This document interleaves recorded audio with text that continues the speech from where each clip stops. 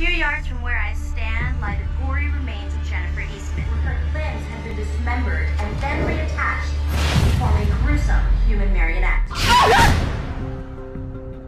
Have you ever visited the spiritualist community on the edge of town? I think there are places that amplify certain realities. Cassadaga is one of those places. You may notice that there are a few areas that are loud. Once a vengeful ghost connects to you, it will not relent until you do whatever it is it wants from you. I invite the spirit of Michelle Morel, sister of Lily. A different presence is with us.